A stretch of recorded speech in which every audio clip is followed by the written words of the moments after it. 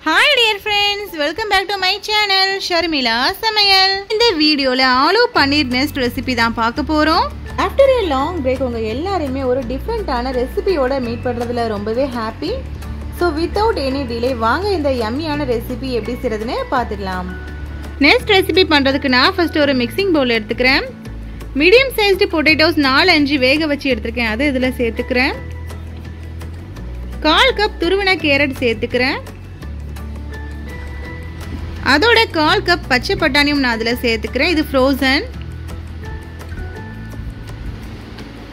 அடுத்ததாக நான் இதில் கால் டீஸ்பூன் அளவுக்கு இஞ்சி பூண்டு பேஸ்ட் சேர்த்துக்கிறேன்.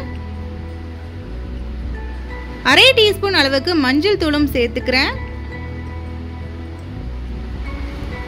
அரை டீஸ்பூன் அளவுக்கு உப்பு சேர்த்துக்கிறேன். இப்போ நான் இதில் கொஞ்சமாக ரெட் சில்லி ஃப்ளேக்ஸ் ஆட் பண்ணிக்கிறேன்.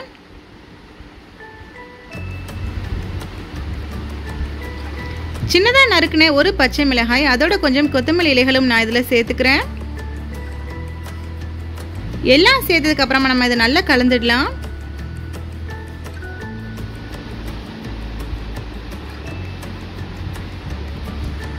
ஹாஃப் கப் கிரேட்டட் பன்னீர் நான் அதில் ஆட் பண்ணிக்கிறேன். பன்னீர் சேர்த்துட்டு நல்லா கலந்துடலாம். பன்னீர் சேர்த்துட்டு நல்லா மிக்ஸ் பண்ணதுக்கப்புறமா ஒரு ஃபைவ் மினிட்ஸ்க்கு நம்ம இதை அப்படியே விட்டுடலாம் இப்போ நம்ம டிப்பிங்காக மைதா பேட்டர் ரெடி பண்ணிடலாம். நான் அதுக்கு ஒரு பவுலில் ஹாஃப் கப் மைதா எடுத்திருக்கேன். அதோட நான் இதில் கொஞ்சமாக உப்பு சேர்த்துக்கிறேன். அரை கப் மைதாவுக்கு முக்கால் கப் அளவுக்கு தண்ணி சேர்த்து நல்லா கலந்துடலாம். மைதா பேட்டர் தின் கன்சிஸ்டன்சியில் இந்த மாதிரி லம்ஸ் எதுவுமே இல்லாமல் நல்லா பீட் பண்ணி எடுத்துக்கோங்க. இப்போ நம்ம நெக்ஸ்ட் செய்ய ஆரம்பிச்சிடலாம். இந்த அளவுக்கு மாவு எடுத்துக்கோங்க. நல்ல ஒரு பால் ஷேப்பில் உருட்டிக்கோங்க. உள்ளங்கைகளை வச்சு மெதுவாக அழுத்தி எடுத்துக்கோங்க. சைட்ஸில் கிராக்ஸ் எதுவும் இல்லாமல் பார்த்துக்கோங்க சைட்ஸ் எல்லாம் நல்லா ரோல் பண்ணதுக்கு அப்புறமா சென்டரில் இந்த மாதிரி மெதுவாக ப்ரெஸ் பண்ணி விட்டுக்கோங்க.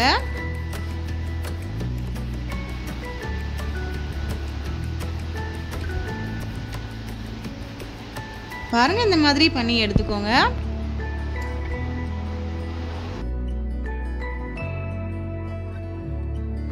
இப்போ அடுத்ததாக கொஞ்சம் மாவு எடுத்து அதையும் ஒரு பால் ஷேப்க்கு உருட்டிக்கலாம். உள்ளங்கையில் வச்சு மெதுவாக அழுத்துங்க. சைடில் கிராக்ஸ் எதுவுமே இல்லாமல் பார்த்துக்கோங்க இல்லைன்னா நம்ம டீப் ஃப்ரை பண்ணும்போது உதிர்ந்து வந்துடும் ஸோ சென்டரில் கொஞ்சம் ப்ரெஸ் பண்ணி விட்டுக்கோங்க. அவ்வளோதான் இதே மாதிரி நம்ம எல்லா மாவையும் பண்ணி எடுத்துக்கலாம். இப்போ நம்ம ரெடி பண்ணி வச்சிருக்கிற மைதா பேட்டரில் நம்மளுடைய உருளைக்கிழங்கு ரோலை டிப் பண்ணி எடுத்துடலாம். அடுத்ததாக நம்ம இதை வீட் சேமியாவில் கோட் பண்ணிடலாம். இப்போ நம்ம இதை ஒரு பிளேட்க்கு மாத்திடலாம்.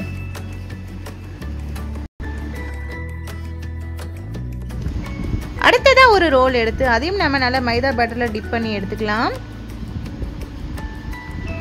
அகெயின் நம்ம இதை வீட் சேமியாவால் கோட் பண்ணிடலாம்.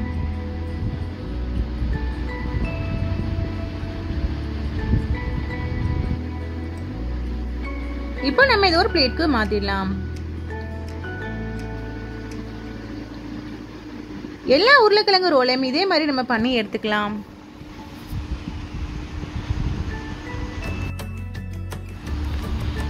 டென் மினிட்ஸ்க்கு நம்ம இதை ஃப்ரீசரில் ஸ்டோர் பண்ணி எடுத்துக்கலாம். அட் அ டைம் நம்ம பன்னீர் பால்ஸ் ரெடி பண்ணிடலாம். நான் அதுக்கு ஹாஃப் கப் கிரேட்டட் பன்னீர் எடுத்துக்கிறேன். அதோட half teaspoon pepper powder add பண்ணிக்கிறேன்.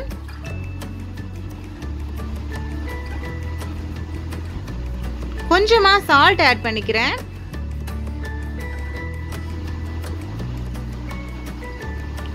எல்லாம் சேர்த்துட்டு நல்லா மிக்ஸ் பண்ணிடலாம்.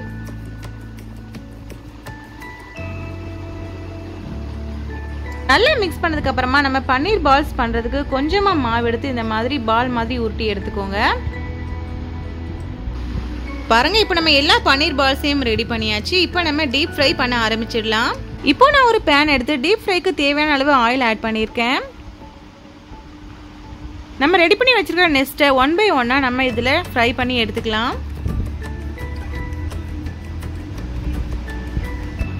மீடியம் ஃப்ளேமில் வச்சு நல்லா ஃப்ரை பண்ணி எடுத்துக்கோங்க. அவ்வளோதான் ரெடி ஆகிடுச்சு இப்போ நம்ம இதை ஒரு பிளேட்க்கு மாற்றிடலாம்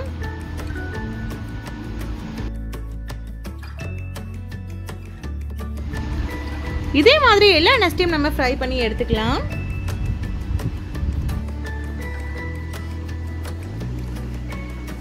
அடுத்ததான் நம்ம உருட்டி வச்சிருக்கிற பன்னீர் பால்ஸை ஃப்ரை பண்ணி எடுத்துக்கலாம்.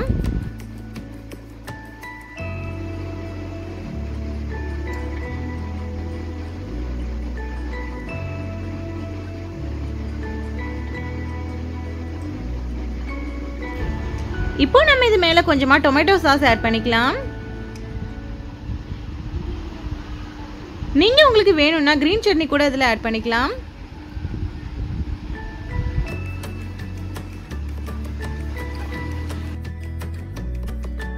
சின்னதாக நறுக்கின கொத்தமல்லி இலைகள் சேர்த்துக்கலாம்.